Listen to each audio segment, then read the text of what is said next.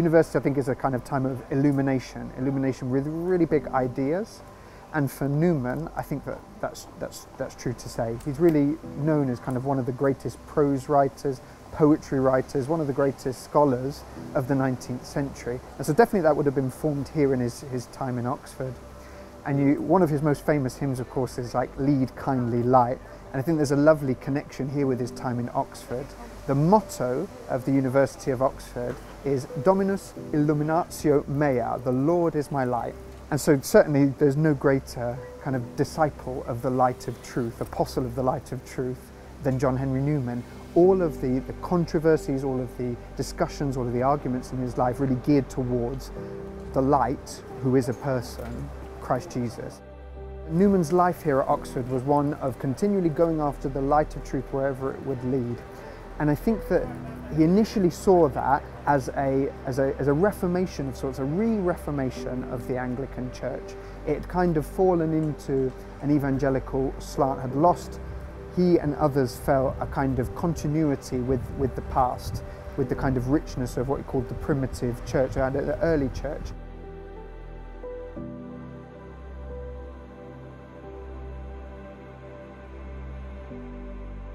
To break away from Oxford was really like a piece of his heart being, being ripped out. It was not only saying goodbye to friends. When he converted, his, his sister never spoke to him again. And although he kept, tried to keep good contact with many of the, the, friends that, the friendships that he developed here, um, it was a real sadness. He was, uh, uh, people mocked him in the street, you know, he was, he was regularly abused and religious questions were the central questions of, of English public life in the 19th century. So everyone knew of, of Newman's humiliation. He was looking to find out what he could do when he became a Catholic, after he converted. He hunted around. People had said, maybe you should start an oratory. It was that sense of living in community that he found most attractive about the idea of the oratory. We, we promise in charity to live alongside each other and learn how to make room for each other and always to have that sense of freedom in our giving of ourselves to each other in community. Newman found this immensely attractive. So for these reasons, um, he decided that it would be the oratory that he would, he would bring to England with the blessing of the Pope. And I am grateful for the opportunity that we have today to talk about soon-to-be Saint John Henry Newman, I mean, a man who had so much influence, not only upon my conversion, but countless others. The thing I want to emphasize is something that he himself emphasized very early in his career.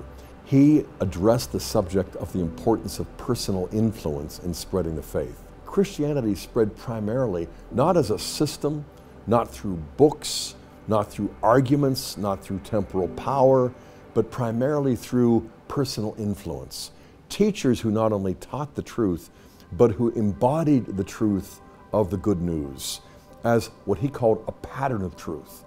He not only identified the principal cause of the spread of Christian faith, he then went on to embody that in his own conversion process.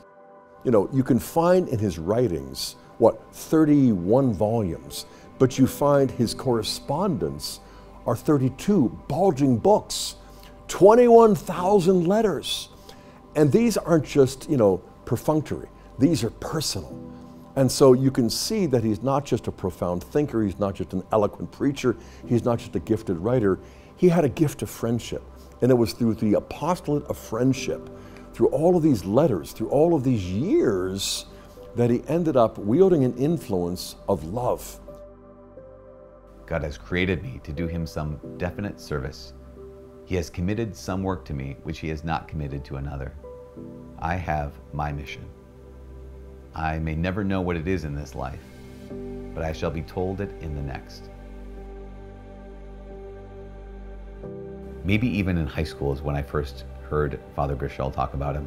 I had a class on him all semester in major seminary, and um, I wish I remembered the details of everything, but I remember what I walked away with. Um, was like the life of a, of a person who, in his time, in his own life, all you would have seen was you would have seen this really influential human being give up his, give up his influence for the love of God and for the love of the church. You would have seen this person who was a failure and starting, you know, a, a seminary that just kind of didn't succeed. Uh, you would have seen a person rejected uh, by many people who should have embraced him. You would have seen someone who I think, in many ways, lived an isolated and lonely life. Um, not of his own choosing, but just because of his circumstances.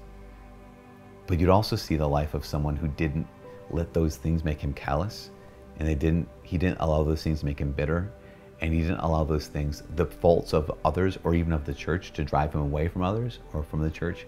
But he kept his heart fresh and open because of how rooted he was in Jesus.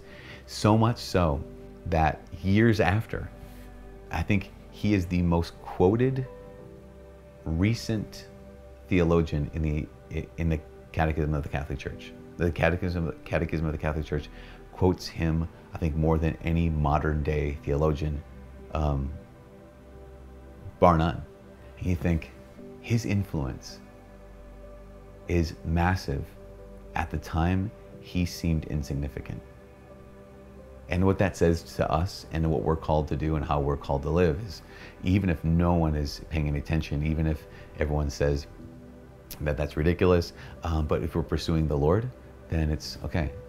I'm not, I'm not performing for an audience of the world, we're performing for an audience of one. And if I can, we, if any of us could, at the end of our lives, look at the Lord and say, like, I think I did what you asked me to do. I think I did that definitive service that you're asking me to do um, it'd be the greatest gift any of us could receive. It's the greatest gift any of us could ever give God back.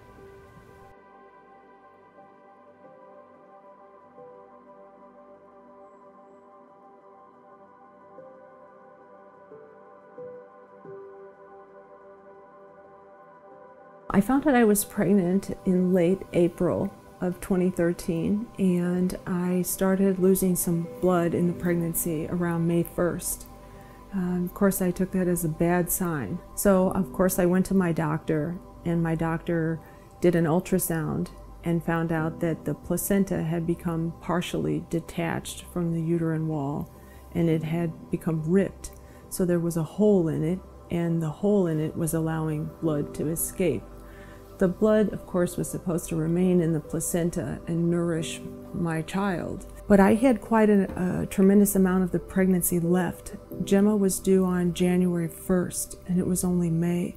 So I did wonder, how am I going to get through the rest of this pregnancy? So on Wednesday morning, on May 15th, I woke up, and when I woke up in bed, I was already laying in a pool of blood, which was very scary because I was told to observe strict bed rest. And if I had already been sleeping, I thought, how much more still can I be? You know, I had lost any kind of influence over the bleeding. So, what I need to do first is get the kids set up for breakfast and get them safe and eating, and then I need to manage this situation as best as I can. So, the kids helped to get each other ready, and they sat in their seats, and I said to them, um, I need to go upstairs for a while. Please don't get out of your seats no matter what. Don't get up. I didn't want anyone to get hurt, but I also didn't want anyone to sneak up on me and see the bleeding, the trauma. I didn't want to scare them. I went in my bedroom and then I went into my bathroom and I closed both doors. I wanted to hear the door if they came upstairs so that they couldn't sneak up on me. And when I got to the bathroom, I was exhausted, and now the bleeding was even worse. So, in this moment, I'm losing a ton of blood. I don't have my phone. I can't scream. My children aren't coming upstairs. I don't know how much more time I have, but I'm imagining I have very little time left to be bleeding at this rate. So, just then I said, Please, Cardinal Newman, make the bleeding stop. And it stopped immediately. It was flowing rapidly and it just came to a hard stop. And I stood up and I looked around and I said, Cardinal Newman, did you just make the bleeding stop? I mean, I knew he did, but that's what I said. And just then I smelled roses filled the bathroom air. And I inhaled and it was incredible. And I said, Thank you, Cardinal Newman. Oh, wow, thank you. You know, Gemma was supposed to be born, um, if at all, premature and small, but she was born eight and a half pounds at a very healthy weight. I'm so filled with joy and gratitude, and um, I can't believe that it's me, you know, after um, Cardinal Newman died in 1890, and here it is, uh, nearly 130 years later, and I could be a part of this process.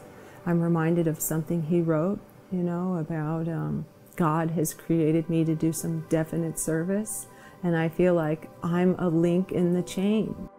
It's just great for so many people to know that if an ordinary person like myself can be miraculously cured by such a, um, an, an intellectual powerhouse and such a holy man that nobody is off limits to ask for help in their lives.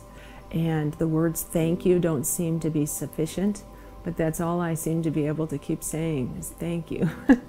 but I, I, I want to thank God and Cardinal Newman with all of my heart.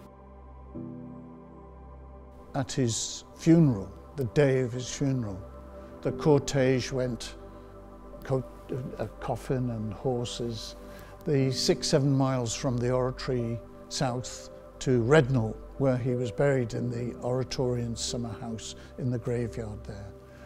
And those miles of road were lined by the people of Birmingham. And uh, I think contemporary comments say that they'd come to salute somebody whom they knew as their father, as their father in God. And, and I think that tells uh, a great story about a crucial aspect of the life of Cardinal Newman.